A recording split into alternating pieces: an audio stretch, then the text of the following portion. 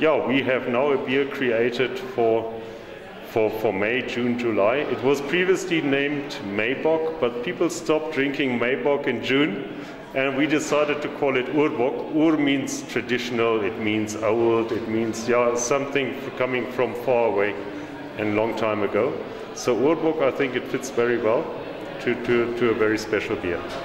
With regards to the public's response to this winter beer over the past few years, Christian Miller from the Namibia Breweries had this to say. It's definitely improving. Uh, getting more and more people were critical, also because of higher alcohol and uh, yeah, you must drink responsi responsibly. It's it's not a beer that you can really, of course you can, but you shouldn't drink in these big masses.